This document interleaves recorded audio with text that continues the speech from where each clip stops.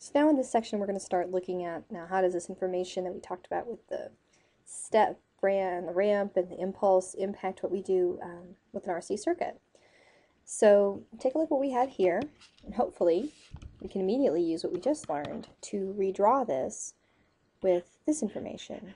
So rather than having the switch, rather than having the switch in there, we can now redraw this with a voltage source but instead of calling it V naught, we can call it V naught UT, basically meaning that it turns on at time equals zero. All right. And if I'm looking to find the response across the circuit, really what I'm trying to find is a result across that across that capacitor. So if you want to go ahead and pretend that there's a ground, you can. It's not strictly necessary because we're just going to use nodal analysis. Can you see what I'm doing? Okay. So I'll call this V and this node is going to be V naught UT. If I want to draw in the currents, current 1, current 2, well I can say that current 1 is equal to current 2, everything going in must come out.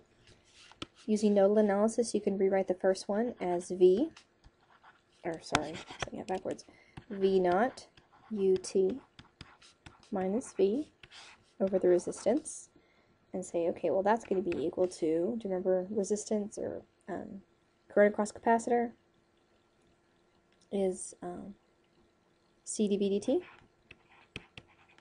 like that. Yes, maybe, definitely, should remember that. Alright, so now we're going to play with that and make some progress. So let's see, if I manipulate some stuff around, I'm going to end up with, um, how about, so dV dt to, I'm going to just do this. And I'll tell you, I, it's going to make it, pretty, that's, to make it match stuff that we've done before, I'm going to set things up like this. Oops. V naught. Um, I'm going to fix that. To be consistent with what your book's doing, instead of V naught, I'll call it VS. Okay? That'll be much better. Like that. Good? Fixed it? Okay, great. Alright. So now, at time equals 0, or I should say for time greater than 0, we'll get there eventually. For time greater than 0, ut is equal to 1, right? So that means that this equation is going to come out to be dv dt is equal to minus V minus Vs over Rc. And I can move some things around and get 1 over V minus Vs dV equals negative 1 over Rc dt. Can integrate. My time is 0, running to some miscellaneous t. My voltage is V naught, running to some miscellaneous V. And then I've got natural log of v minus vs minus natural log of v naught minus vs equal to 1 over rc times t. Pretty? Fix up my natural logs.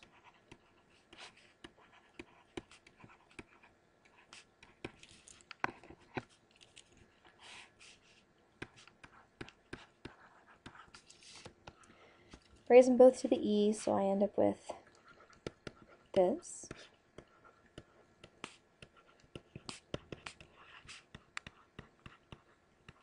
And remember, tau in my RC circuits was RC.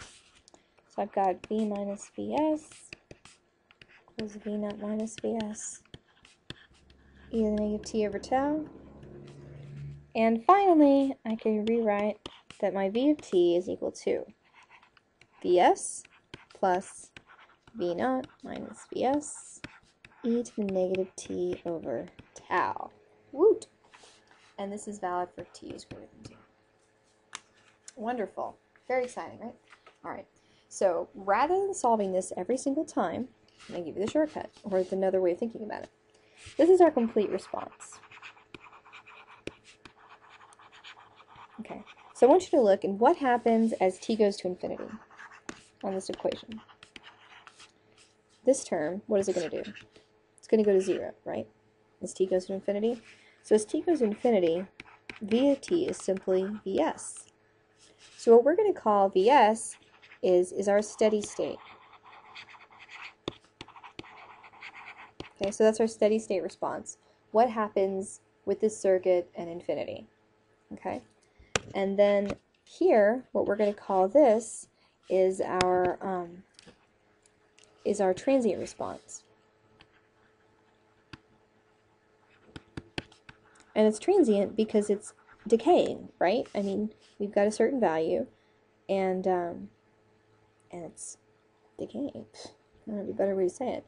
Um, the voltage across the, uh, the capacitors is going to change. So um, it's going to change by this by this decay term that we have out here in front. So anytime that you solve these problems, essentially what you're going to do is you are going to figure out, okay, well, what's happening at time equals zero? And at time equals zero, what's my voltage? And you're going to put that in. And then you're going to say, okay, at time equals infinity, what's going to happen? And that's going to be your steady state. So it's actually, the instructions are really straightforward. It's as simple as saying, okay, what happens at t equals 0? What happens at t goes to infinity? Awesome, I'm done. Okay, and of course it's a lot more fun than that, but I mean that's your that's the basic strategies you're going to follow when solving these particular problems. Now for the step response of an RL circuit, what's kind of nice, I mean we can go through the whole derivation again, your book might actually do that, but really what we're looking at for the step response of an RL circuit is we're going to get the exact same thing that we did for an RC circuit.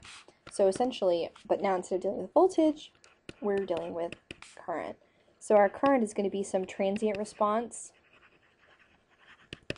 plus some steady state response. So we've got our transient, which is again going to be our I naught minus our I steady state times e to the negative t over tau. Remember tau though now is going to be L over R. And then our steady state. So it's, it's kind of straightforward. Um, if you want to rewrite it, I'm going to put it like this to make it match the order in our other, in our RCs.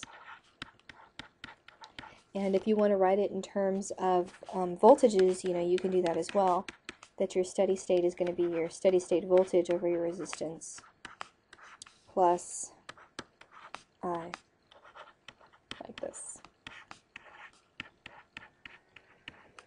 But uh, basically what's going to happen is you're going to solve the exact same problems um, twice um, that we'll have. So um, for the first set of problems, you'll be solving stuff that has a bunch of voltages. For the set of problems, you're going to be solving stuff that has a bunch of currents. But again, the strategy is the same. You want to find the current at time equals zero, and then you want to find the current at time equals infinity, and incorporate that information to um, to come up with your to come up with your solution here.